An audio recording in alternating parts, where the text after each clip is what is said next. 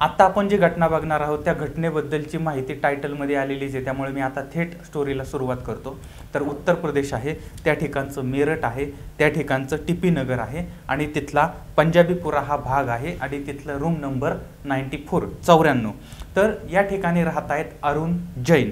यांचं वय आहे साधारणपणे पंचावन्नच्या आसपासचं. त्यांच्याबरोबर ते त्यांच्या पत्नी आहेत आणि त्यांचे दोन सुपुत्र आहेत. थोरल्या सुपुत्राचं नाव आहे आयुष. आणि धाकटा सुपुत्र आहे त्याचं नाव आहे अक्षत.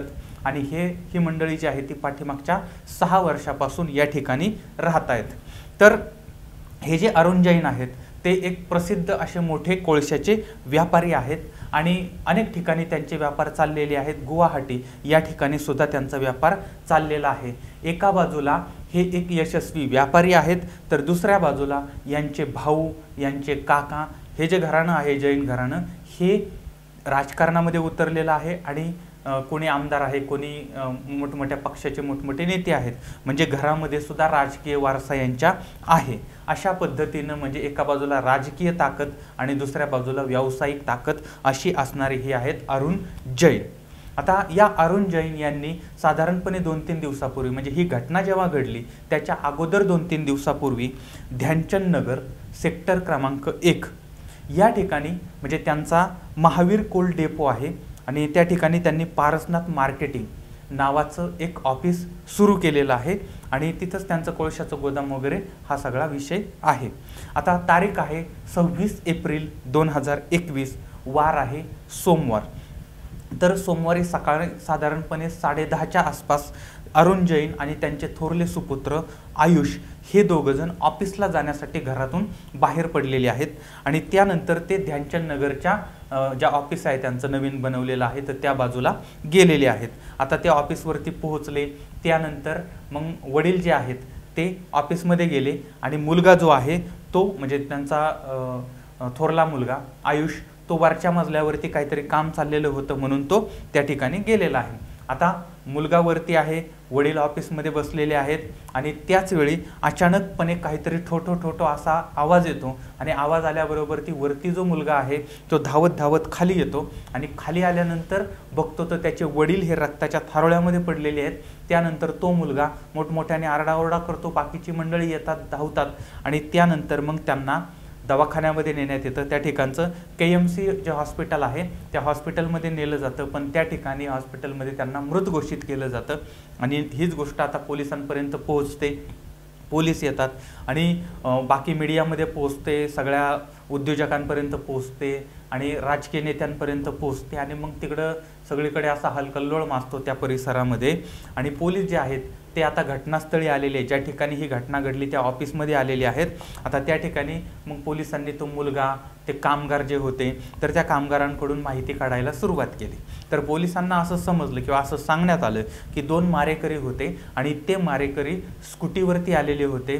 त्यांनी चेहऱ्याला गमछा लावलेला होता किंवा मास्क लावलेला होता चेहरा बांधलेला होता आणि ते आत आले आणि आत येऊन त्यांनी मग ह्यांच्यावरती गोळीबार केला. आणि एवढंच नाही तर अशी पण माहिती समोर आली की ज्यांची हत्या करण्यात आली होती त्यांच्या खिशातील जे पैसे होते ते पैसे पण गायब झाले होते किंवा चोरण्यात आलेले आहेत. त्याचबरोबर ते त्यांच्या गळ्यामधली सोन्याची चेन आणि अंगठ्या ज्या होत्या त्यासुद्धा गायब झालेल्या आहेत. आता हे सगळं ऐकता प्राथमिकदृष्ट्या असं वाटत होतं की चोर आलेले आहेत आणि त्याच चोरांनी यांना हल्ला केला आहे त्यांच्याकडून त्यांना मारलं आणि त्यांच्याकडून दागिने आणि पैसे घेतलेले आहेत. पण पुढचा प्रश्न निर्माण होतो की एखादा व्यापारी आहे तो करोडोमध्ये खेळतो आहे आणि त्या व्यापाऱ्याच्या ऑफिसमध्ये जाऊन त्याची अंगठी चोरी करून आणणं गळ्यातली चैन चोरी करणं किंवा त्याच्या खिशाच्या पाकिटात किती पैसे असतील ते चोरी करणं कोणता व्यापारी स्वतःच्या पाकिटामध्ये एवढे पैसे ठेवतो किंवा कोणता व्यापारी हा स्वतःच्या ऑफिसमध्ये एवढे पैसे ठेवतो? त्यामुळे पोलिसांना याबद्दल सुद्धा एक शंका येत होती की नक्की चोरी आहे का? पण प्राथमिकदृष्ट्या ती चोरी वाटत होती. आता त्या ऑफिसमध्ये सी सी टी व्ही कॅमेरे लावलेले होते. पोलिसांनी ज्यावेळेस त्यांना विचारलं की सी सी टी फुटेज द्या तर सांगितलं की बाबा सी सी टी व्ही बंद आहे.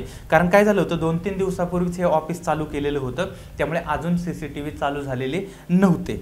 आता ह्या म्हणजे एका बाजूला पोलीस अशा पद्धतीनं माहिती घेण्याचा प्रयत्न करत आहेत दुसऱ्या बाजूला फॉरेन्सिक टीम आलेली आहे किंवा बाकीचे जे तपास यंत्रणा आहे पोलिसांच्या अत्याधुनिक त्या पद्धतीनं तपासाला सुरुवात झालेली आहे. आता पोलिसांनी काय केलं की आता इथले तर सी सी टी व्ही कॅमेरे बंद होते मग बाहेरचे जे सी सी टी व्ही कॅमेरे आहेत मग ते मारेकरी कुठल्या बाजूने आले? मग त्या रस्त्यावरचे सी सी टी व्ही कॅमेरे मारेकरी कुठल्या बाजूला गेले? तिकडले सी सी टी व्ही कॅमेरे आणि असं करत करत करत सगळे सी सी टी व्ही कॅमेरे जवळजवळ चारशेपेक्षा जास्त कॅमेरे पोलिसांनी पाहिलेले आहेत फुटेज पाहिलेले आहेत आणि त्याच्यानंतर मग त्याच्यावरती अभ्यास करायला सुरुवात केलेली आहे.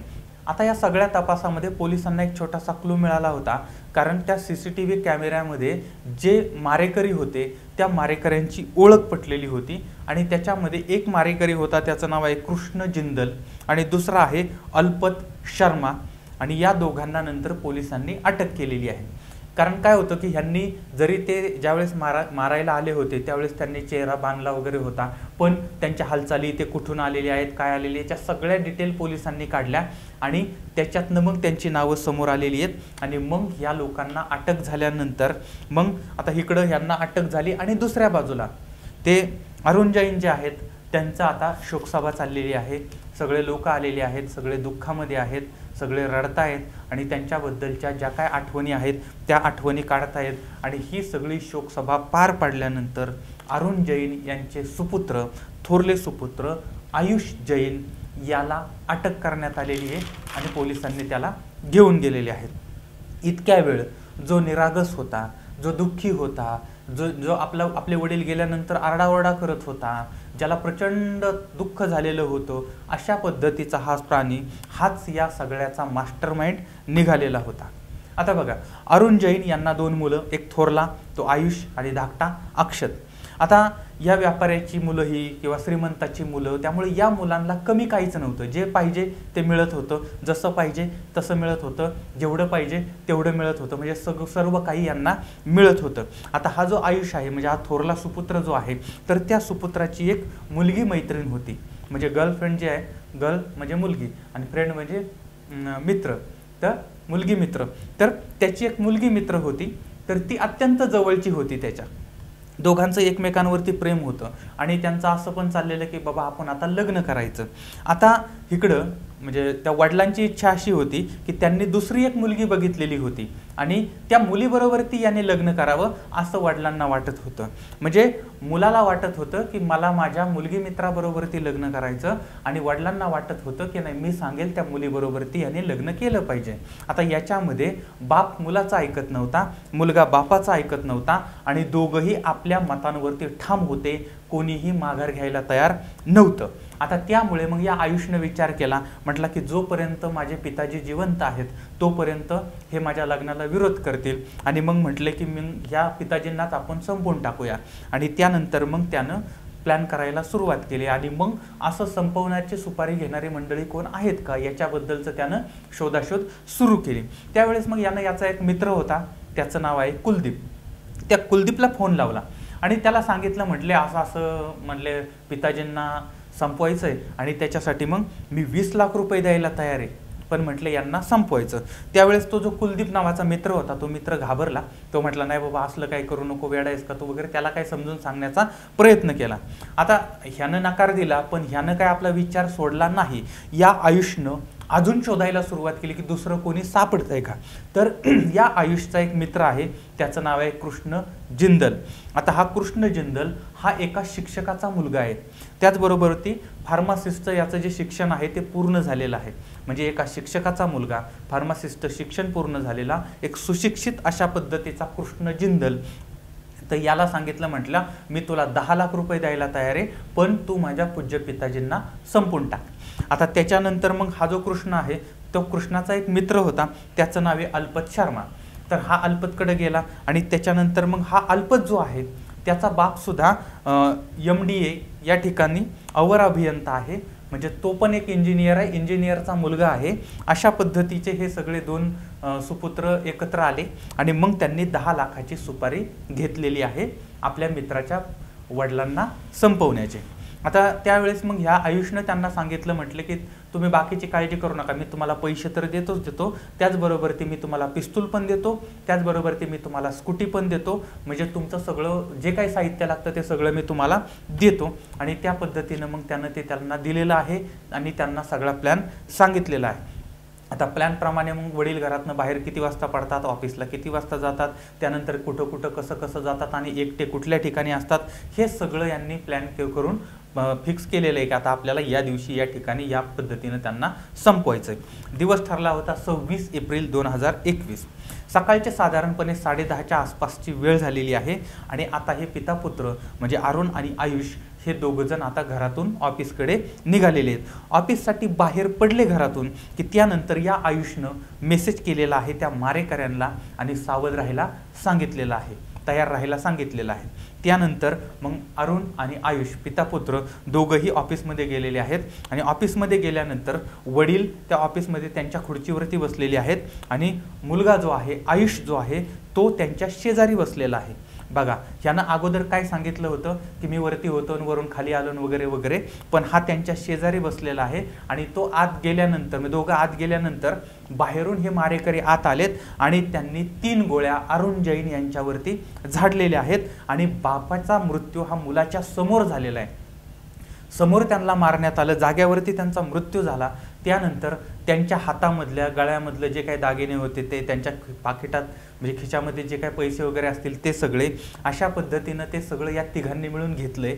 आणि हे दोन मारेकरी जे आहेत तिथून बाहेर पडलेले आहेत. आणि ज्यावेळेस मारेकरी निघून गेले दूर त्याच्यानंतर मग या आयुषनं मोठमोठ्यानं बोंबलायला सुरुवात केली. की वाचवा वाचवा पळा पळा असं काहीतरी तो बोलला असेल. आता तिकडल्या भाषेत काय बोलला असेल ते. आणि त्यानंतर मग बाकीची मंडळी आलेली आहेत. आणि मग त्यानंतर दवाखान्यामध्ये वगैरे नेण्यात आलेलं आहे. पण एवढं सगळं असताना सुद्धा नंतर पोलिसांनी या सगळ्याचा तपास लावलेला आहे. आता प्रश्न हा निर्माण होतो की पोलिसांना या व्यक्तीवरती संशय का आला? त्यांच्या मुलावरती संशय का आला होता? तर लक्षात घ्या सुरुवातीपासूनच या मुलावरती पोलिसांचा संशय होता. कारण मी आता आत्ताच सांगितलं तुम्हाला की मुलगा हा वडिलांच्या बरोबरती होता. असं असतानाही त्यानं पोलिसांना सांगितलं होतं की मी मर वरती होतो आणि घटना ज्यावेळेस घडत होती त्यावेळेस मी इथं नव्हतो. मग हा मुलगा असं खोटं का बोलतो आहे? आणि त्यामुळे पोलिसांच्या मनामध्ये शंका निर्माण झाली होती. त्याचबरोबर ती हा जो सुपुत्र आहे आयुष त्या आयुषचं त्याच्या मुलगी मित्रबरोबरती काही संबंध होते आणि त्यावरून पितापुत्रामध्ये वाद होते ही गोष्टसुद्धा पोलिसांना समजलेली होती. त्यामुळे पोलिसांना असं वाटत होतं की यांच्याच घरातल्या कोणाचा तरी याच्यामध्ये हात असण्याची शक्यता आहे. त्यामुळे घरातल्या सगळ्यांचे त्यांनी मोबाईल नंबर घेतलेले आणि त्याच्याबद्दल त्या मोबाईल नंबरचे सी डी आर वगैरे सगळी माहिती पोलिसांनी काढलेली होती. आणि यामध्ये पोलिसांना तीन जे सी डी आर होते किंवा तीन जे नंबर होते त्याच्यावरती संशय होता. आणि म्हणून मग पोलिसांनी त्या नंबरचं संभाषण काढलं. त्याच्यात काय काय बोलणं झालं ते काढलेलं आहे. त्याचबरोबर कोणाबरोबर बोलणं झालं त्यांचं लोकेशन काय होतं या सगळ्या डिटेल्स पोलिसांनी काढलेल्या आहेत. आणि याच्यामधून म्हणजे एका बाजूला ही आणि दुसऱ्या बाजूला सी सी टी व्ही कॅमेरे या सगळ्यांमधून दोन आरोपींना दोन मारेकऱ्यांना अटक करण्यात आली आणि त्याच्यानंतर त्या दोन मारेकऱ्यांच्या माध्यमातून मग तिसरा जो मारेकरी होता मास्टर माइंड जो होता त्याला सुद्धा पोलिसांनी अटक केलेली आहे. आता याच्यामध्ये परमपूज्य वडिलांची हत्या करण्यात आलेली आहे त्यांचे थोरले सुपुत्र आणि त्याचबरोबर ती इतर दोन सुपुत्र अशा पद्धतीचे तीन सुपुत्र तुरुंगामध्ये गेलेत किंवा त्यांच्यावरती आरोप आहे. यामध्ये तीन घरं उद्ध्वस्त झालेली आहेत. आता या सुपुत्रानं आपल्या पितपूज्य पिताजींना का संपवलं? का तर त्याची जी मुलगी मित्र होती त्या मुलगी मित्रबरोबर त्याला लग्न करायचं होतं. तिच्या लग्नासाठी एवढं सगळं केलं होतं. आता मला सांगा त्या मुलगी मित्रबरोबर ती याचं लग्न झालं का? नाही. बरं आता ती होण्याची शक्यता आहे का? ते पण माहीत नाही. मग एवढं सगळं करून या माणसाने स्वतःची जिंदगी बरबाद केली. एवढंच नाही तर स्वतःच्या घरच्यांचं पण आयुष्य बरबाद केलं आणि स्वतःच्या मित्रांचं पण आयुष्य बरबाद केलं. आणि मग प्रश्न हा निर्माण होतो की ह्या माणसांना म्हणजे आज आजच्या कालच्या ह्या सगळ्या काळामध्ये तुम्हाला तुमच्या आई वडिलांपेक्षा तुमची मुलगी मित्र जवळची आहे का? तुम्हाला ज्यांनी जन्म दिला लहानाचं मोठं केलं ज्यांनी एवढं सगळं तुमच्यासाठी केलं तुमच्या लेखी त्यांचं म्हणजे त्यांना काहीच किंमत नाही आहे का? हा सगळ्यात मोठा प्रश्न या ठिकाणी उपस्थित होतो. आणि इतकी ती व्यक्ती मुलगी मित्र इतकी जवळची आहे का की तू त्याच्यासाठी स्वतःच्या बापाचा जीव घेतला? आता या सगळ्या घटनेमध्ये वडिलांनी पण एक एक आपण दोन्ही बाजूने विचार करू. वडिलांनी विचार करायला पाहिजे होता की माझ्या मुलाचं सुख माझ्या पाल्याचं सुख तेच माझं सुख आहे. त्यामुळे मुलाची जी पसंती असेल तीच माझी पसंती आहे. असा जर वडिलांनी विचार केला असता मुलाच्या बाजूनं तर ही घटना घडली नसती आणि सगळं सुरळीत झालं असतं. दुसऱ्या बाजूला जर मुलानं विचार केला असता की माझे आईवडील हे माझ्या भल्याचा विचार करतायत माझ्या चांगल्याचा विचार करतायत आणि त्यामुळे आपण त्यांचं ऐकलं पाहिजे. मुलाने जरी अशा भावना ठेवली असती तरी पण ही घटना घडली नसती. पण याच्यामधला सगळ्यात मोठा प्रॉब्लेम काय माहिती आहे का? की मुलगा बापाचं बिलकुल ऐकत नाही बाप मुलाचं बिलकुल ऐकत नाही आणि दोघांनाही असं वाटतंय की माझंच ऐकलं पाहिजे मी म्हणतोय तेच खरं आणि त्याच्यामुळे मग हा सगळा प्रॉब्लेम तयार होतो. आणि आपल्या इकडल्या तिकडल्या सगळ्या घरामध्ये अशी स्थिती आहे. एकतर बाप पण माघार घेत नाही मुलगा पण माघार घेत नाही आणि मग त्याच्यामध्ये ही वाद आणि भांडणं होत आहेत. आता सगळ्या आई वडिलांना सांगून ठेवतो की तुमची मुलं जर तरुण झाली एक लक्षात घ्या छोटी मुलं असतील दोन कानाखाली वाजवल्या गप बस म्हणलं बसतं ते. पण मोठं असलं आणि त्याला जर समजा तुम्हाला वाटलं तो चुकीचं वागतोय त्याला एकदा समजावून सांगा किंवा तिला एकदा समजावून सांगा की असं वागणं चुकीचं आहे. दुसऱ्यांदा समजावून सांगा असं वागणं चुकीचं आहे. तिसऱ्यांदा समजावून सांगा आई वडिलांचं कर्तव्य आहे मुलांना चा- चुकीच्या मार्गावरून रोखणं. पण एकदा सांगून दोनदा सांगून तीनदा सांगून ते जर प्राणी ऐकत नसतील तर त्यांना सांगणं सोडून द्या. कारण उगत दाताच्या कण्या करण्यात अर्थ नाही. तुम्हीचा सांगण्याचा काहीही उपयोग होत नाही. त्यामुळे त्यांना त्यांच्या आयुष्य जगू द्या. ज्याचा हात मोडेल त्याच्या गळ्यात पडेल ज्याचं तंगडं मोडेल ते कुबडी घेऊन फिरेल. मग त्याला आपण काही करू शकत नाही. शेवटी कोणी काही असलं तरी. आणि दुसरी गोष्ट की जे मुलं आहेत त्या मुलांनी सुद्धा हा विचार करायचा आहे की जगामध्ये आपण सगळ्या गोष्टी मिळवू शकतो. पण आपले आईवडील आपल्याला मिळणार नाहीत. आणि आपण त्यांच्या पोटी जन्म घेतलेला आहोत आपण त्यांच्या पोटचे आहोत. किमान या गोष्टीची जाणीव तरी त्या मुलांनी ठेवली पाहिजे. बरं आता याबद्दल तुम्हाला काय वाटतंय ते मला जरूर कळवा. पुन्हा भेटूया पुढच्या भागामध्ये. तोपर्यंत धन्यवाद. जय हिंद. जय महाराष्ट्र.